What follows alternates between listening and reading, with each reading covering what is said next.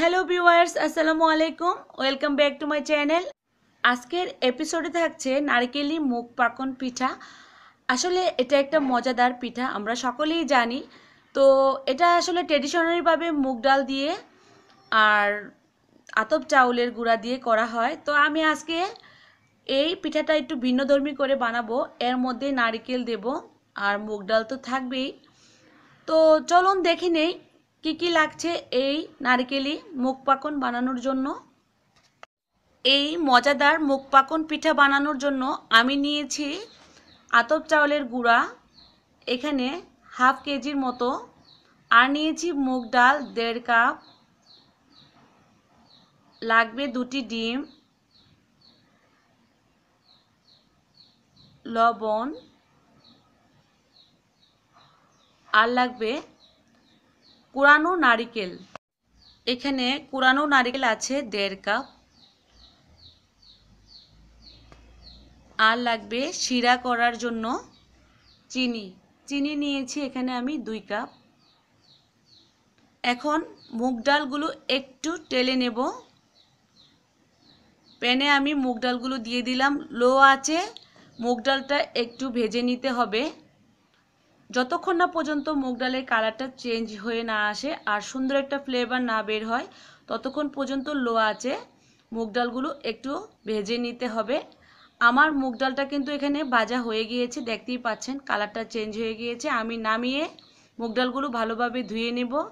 আর মুগ ডাল সেদ্ধ করার জন্য আমি চুলাতে পাতিলা বসিয়ে দিলাম, তার মধ্যে পানি দিয়ে মুগ ডালটা এখন সেদ্ধ করে নেব। তো আমি দেড় কাপ মুগ ডালের মধ্যে এক লিটারের চেয়ে একটু কম পানি দিয়ে মুগ ডালটা সেদ্ধ করব। তার মধ্যে দিয়ে নেব লবণ। তো আমি সেই অনুপাতে লবণটা দেব, যেহেতু এখানে আতপ চাউলের গুঁড়া দেব। ডো তৈরি করব এই মুগ ডাল সেদ্ধ দিয়ে। তো সেই অনুপাতে লবণটা দিয়ে নিতে হবে। আপনারা ওইভাবে দিয়ে নেবেন। এখন আমি এটাকে মাঝারি আঁচে ডেকে দেব। বিশ থেকে তিরিশ মিনিটের জন্য। আমি তিরিশ মিনিট পর একটু দেখে নিব মুগ ডালটা কেমন সেদ্ধ হয়েছে। পানিটা কিন্তু শুকিয়ে গিয়েছে, দেখতে পাচ্ছেন। আর মুগ ডালটাও সেদ্ধ হয়ে গিয়েছে। যখন এ পর্যায়ে আসবে, তখন মুগ ডাল আমি একটি ঘুটনির সাহায্যে ঘুটে দেব, যাতে দানা দানাগুলো ভেঙে যায় ডালের। তো পানি কিন্তু একটু থলথলে অবস্থায় আছে। এ পর্যায়ে আমি নারকেলটা দিয়ে দিলাম কুরানো নারকেল। দিয়ে একটু নেড়ে চেড়ে এর মধ্যে দিয়ে দিব চাউলের গুঁড়া ডালের মধ্যে কিন্তু যে পানিটা আছে, সে পানিটা দিয়েই হয়ে যাবে। ডো তৈরি করার জন্য আমি আর এক্সট্রা পানি দেব না এখানে। ডালের মধ্যে পর্যাপ্ত পরিমাণে পানি আছে, তো এর মধ্যে কিন্তু এই কাই তৈরি হয়ে যাবে। একটু নেড়ে চেড়ে আমি ঢেকে দেব, লো আছে, দশ মিনিটের জন্য। আঁচটা কিন্তু একদম লো আঁচ ছিল। দশ মিনিট পর সেদ্ধ হয়ে গিয়েছে কিন্তু এই কাই। এখন আমি নামিয়ে নিব একটি বলে। এটা গরম গরম অবস্থায় এই কাই তৈরি করতে হবে। আস্তে আস্তে করে শয় শয় অবস্থায় তৈরি করব আর এর মধ্যে প্রথমে একটি ডিম দিয়ে নিচ্ছি। গরম গরম অবস্থায় কিন্তু ডিম দিতে হবে। দিয়ে আমি ভালোভাবে ডোটা তৈরি করে নিচ্ছি। আবারও আরও একটি ডিম আমি অ্যাড করে দিলাম। তো এই কাইটা বানানোর জন্য কিন্তু আমি আলাদা এক্সট্রা কোনো পানি দেইনি। তো ডালের মধ্যে যেই থলথলে পানিটা ছিল, ওইটা দিয়ে হয়ে গিয়েছে। যেহেতু এখানে আমরা ডিম দিয়েছি, তো সেহেতু আর কোনো এক্সট্রা পানির কোনো দরকার নেই। হয়ে গিয়েছে কিন্তু ডোটা তৈরি। আমি পাঁচ থেকে ছয় মিনিট ধরে এটাকে গরম গরম অবস্থায় কাই তৈরি করে নিয়েছি। তো এখন এই কাই থেকে আমরা পিঠা তৈরি করব। এখানে আমি পিঠা বানানোর জন্য ডাইস নিয়েছি। এখানে ডাইসগুলোর মধ্যে সয়াবিন তেল মুছে নিতে হবে। তারপর এই ডো থেকে অল্প কিছু পরিমাণ আমি কাই নিয়ে হাতে একটু গোল করে নেব।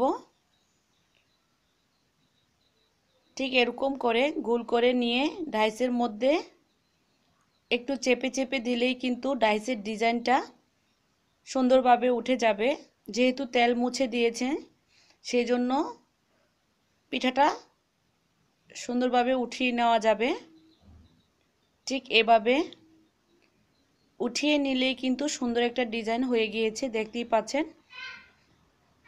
আমি আরও একটি পিঠা পুরাটা ঢাইছে ঠিক এভাবে। এখন পুরাটা ডাইসের ডিজাইন কিন্তু উঠবে, সাইডের ডিজাইনটাও উঠে যাবে। কায়ের পরিমাণটা একটু বেশি করে নিয়ে গোল করে দিয়ে চেপে চেপে আস্তে আস্তে উঠিয়ে নিলেই কিন্তু সুন্দর ডিজাইন বের হয়ে যাবে। তো এভাবে কিছু পিঠা আমি বানিয়ে নিব।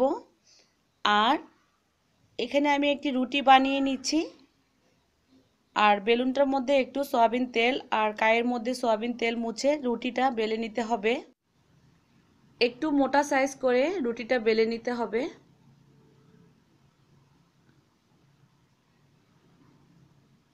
ঠিক এরকম মোটা হবে রুটিটা। তা থেকে একটি গ্লাসের মাধ্যমে আমি কিছু পিঠার শেপ তৈরি করে নেব গোল গোল করে কেটে। যারা ডাইসটা ইউজ না করবেন, তারা ঠিক এভাবে পিঠা বানাবেন। একটি কাঁটা চামচের মাধ্যমে সাইডগুলো ঠিক এভাবে ডিজাইন করলেই কিন্তু সুন্দর একটি ডিজাইন হয়ে যাবে। দেখতেই পাচ্ছেন।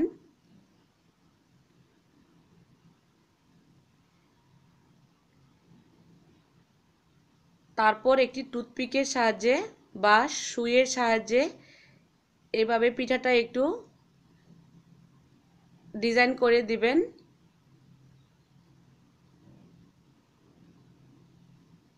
হয়ে গেল কিন্তু আরও একটি পিঠা। এটা হাতের সাহায্যে করে নিতে হবে। আরও একটি ডিজাইন আমি দেখিয়ে দিচ্ছি। এটা হচ্ছে এই ডো থেকে আপনারা যার যেরকম ইচ্ছে ওরকম ডিজাইন করে নিতে পারবেন। আর যেহেতু এটার মধ্যে ডিম দেওয়া আছে, তো পিঠাগুলো কিন্তু অনেকটাই ক্রিস্পি আর মচমচে হবে। তো যেভাবে ইচ্ছে সেভাবেই ডিজাইনটা করে নিতে পারবেন। তো আমি কিছু হাতেও দেখিয়ে দিচ্ছি। তারপর টুথপিকের সাহায্যে একটু দাগ কেটে কেটে উঠিয়ে দিলেই কিন্তু সুন্দর ডিজাইন হয়ে যাবে। আর শিরাটাও সুন্দরভাবে ঢুকবে, সেজন্য কিন্তু এই টুথপিকের সাহায্যে একটু কেটে দেওয়া। তো হয়ে গেল আরও একটি ডিজাইন তো যার যেরকম ডিজাইন মনে চায়, ঠিক সেভাবে বানিয়ে নিতে পারবেন। আরও একটি ছোট রুটি আমি বেলে নিয়েছি। আমি একটু দেখিয়ে দিচ্ছি আপনাদেরকে। আপনারা আমার চেয়েও ভালো করে ডিজাইন করতে পারবেন। একটি ছোট রুটিকে মাঝখান থেকে কেটে এই টুথপিকের সাহায্যে ডিজাইনটা উঠিয়ে দিব। এটা কিন্তু একটা পাতা ডিজাইন হচ্ছে। এই রুটিটার মাঝখান থেকে একটু পাতার ডিজাইনের মতো করে ঢেউ ঢেউ করে দিলেই কিন্তু পাতা ডিজাইনটা হয়ে যাবে। আর দেখতেও খুব সুন্দর মনে হবে। তো এভাবে আমি প্রত্যেকটা পিঠা বানিয়ে নেব। তারপর সাইডগুলো একটু দাগ কেটে দিলেই পিঠাটা ভাজার সময় দেখতেও সুন্দর লাগবে আর খেতেও কিন্তু ভালো লাগবে। শিরাটা সুন্দরভাবে ভিতরে ঢুকবে। তো ভিউয়ার্স আমি এভাবে সবগুলো পিঠা বানিয়ে নেব। হয়ে গেল কিন্তু আমার সবগুলো পিঠা বানানো। আমি ঠিক এভাবেই পিঠাগুলো বানিয়ে নিয়েছি। এখন সবগুলো পিঠা আমি তেলে ভেজে নেব। তার আগে আমি শিরাটা একটু তৈরি করব খুব অল্প সময়ের মধ্যে। এখন চুলাতে আমি যে পাতিলায় শিরা তৈরি করব, আমি দেড় কাপ পরিমাণ পানি দিয়ে দিয়েছি আর দিয়ে দিচ্ছি একটি তেজপাতা, একটি দারচিনি, একটি এলাচ। তার মধ্যে দিয়ে দিব চিনি। দিয়ে দশ মিনিট নেড়ে চেড়ে এটা শিরা তৈরি হয়ে যাবে। শিরা তো সবাই আমরা তৈরি করতে পারি। একটু ঘন হয়ে আসলে কিন্তু আঠালো আঠালো ভাব মনে হলে শিরাটা তৈরি হয়ে যাবে। তো শিরাটা আমি নামিয়ে ঠান্ডা করে রাখব। দশ মিনিট আমি জাল করে নিয়েছি শিরাটা। হয়ে গিয়েছে শিরা তৈরি। চিনিটা আঠালো হয়ে আসলেই কিন্তু পানির সঙ্গে তখন শিরাটা নামিয়ে নিতে হবে। শিরাটা নামিয়ে ঠান্ডা করতে দিয়ে দিলাম। আর আমি চুল, চুলাতে পিঠাগুলো ভেজে নিব। তেল গরম বসিয়ে দিয়েছি। লো আছে তেলটা গরম করে এখন সবগুলো পিঠা আমি লো আছেই ভেজে নিব। দিয়ে দিচ্ছি তার মধ্যে পিঠাগুলো।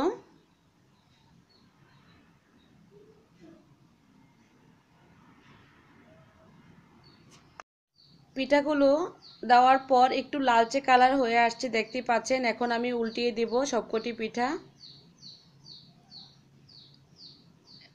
তেলে দেওয়ার পর দুই তিন মিনিট ভাজলেই কিন্তু পিঠাগুলো সুন্দর ভাজা হয়ে যাবে। আমি সবগুলো পিঠা উল্টিয়ে দিচ্ছি।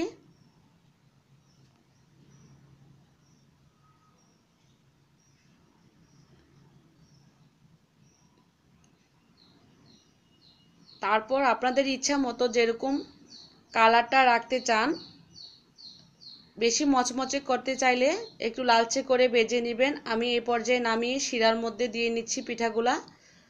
পিঠাগুলা কিন্তু গরম অবস্থায় আছে আর শিরাটা ঠান্ডা। তো এভাবে শিরার মধ্যে ভিজিয়ে ভিজিয়ে পিঠাগুলা উঠিয়ে নেব।